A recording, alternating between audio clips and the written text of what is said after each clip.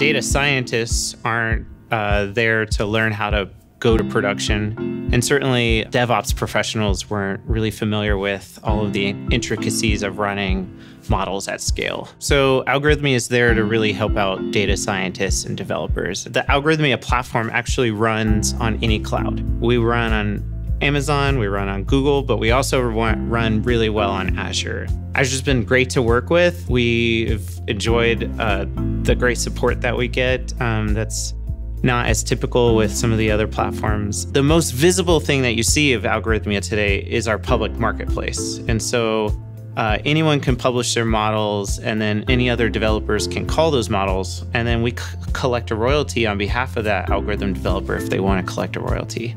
We're going to continue to build a great product for data scientists and developers to publish. We're going to have a burgeoning community of both our hosted service as well as the enterprise on premises software. So, yeah, five years will be a household name.